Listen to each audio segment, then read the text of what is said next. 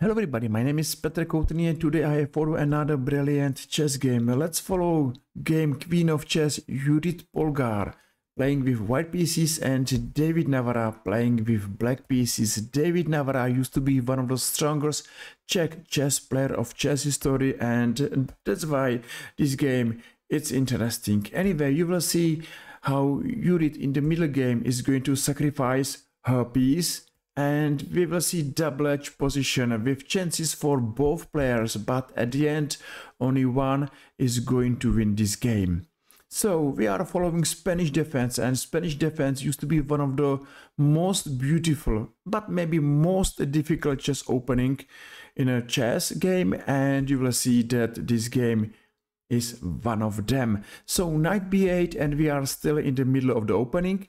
Bishop b7 and now c5 because Judit is going to play move d5. The center is going to be blocked.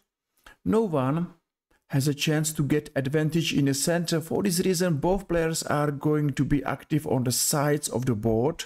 And for this reason, black played move c4, uh, found it a beautiful square for knight on c5 and white played move a5.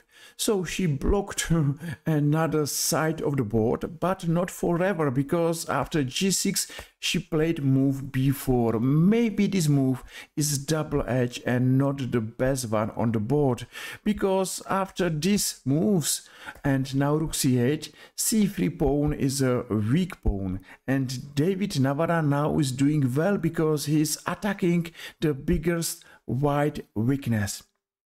That's something good to remember because if your opponent is weak anywhere, it's good to attack his weaknesses and now rook c8 is the best move here.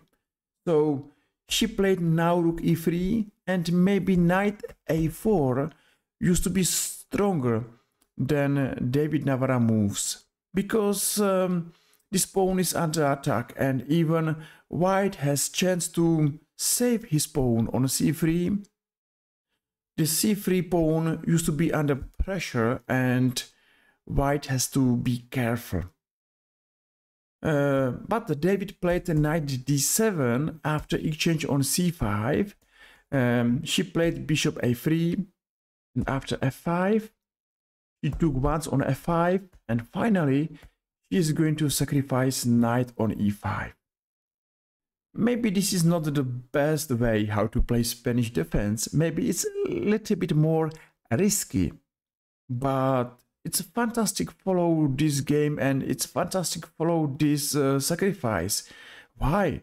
Because uh, Polgar is going to sack his knight, sack her knight, and uh, David Navara has to defend his position.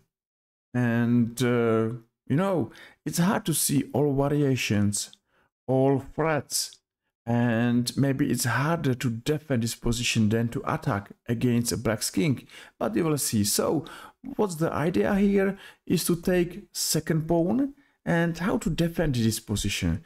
Because if uh, she is going to take third pawn, maybe she got a full compensation for a piece. But maybe no. You know, this position is double edge, open position, and now every move is important. So, for example, bishop d6.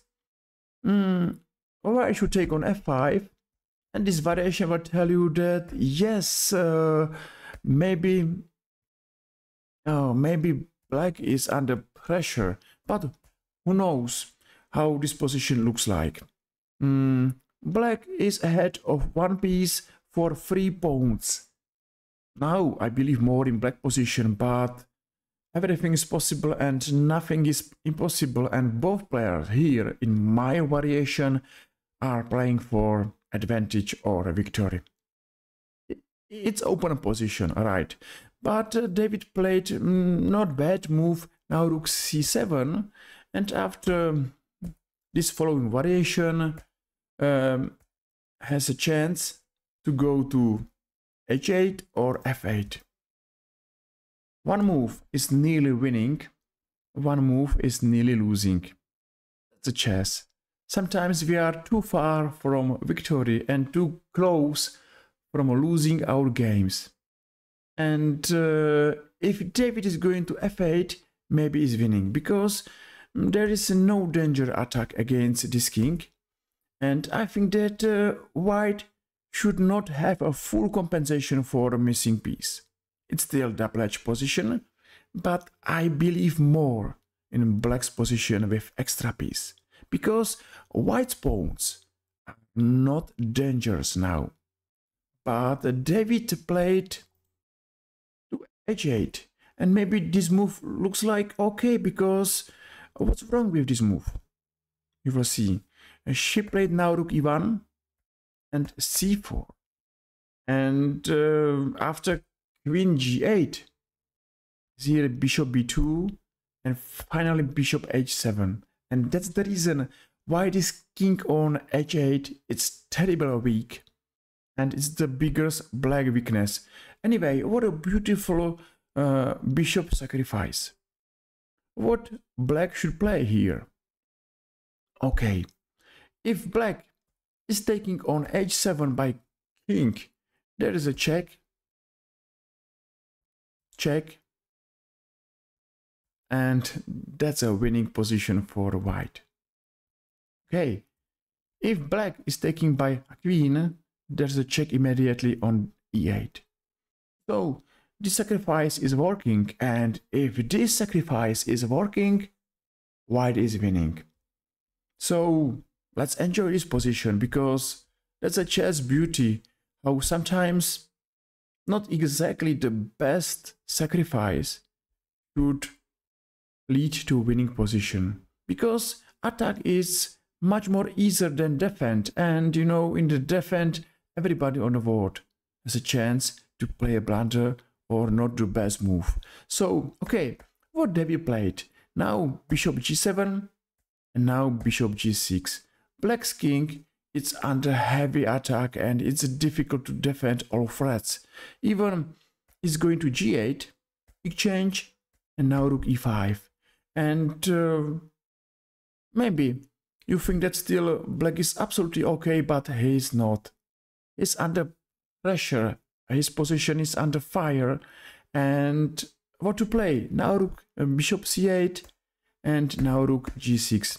Maybe bishop e6. You believe that is the best way how to play this position? I'm going to show that no.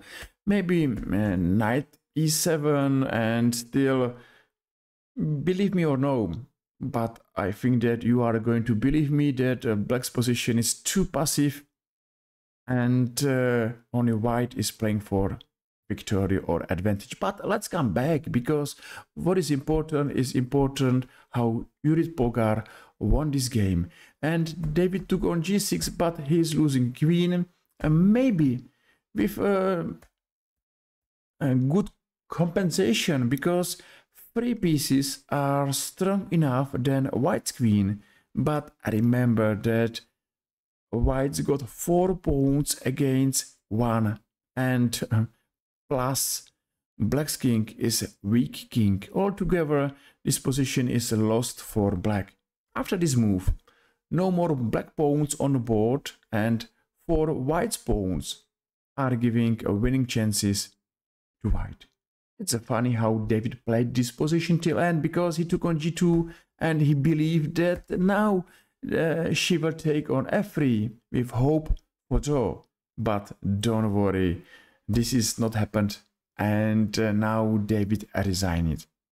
What a beautiful chess game of two uh, strong chess players. I hope that you enjoyed this video and if yes, just feel free and press like or press follow and made my day.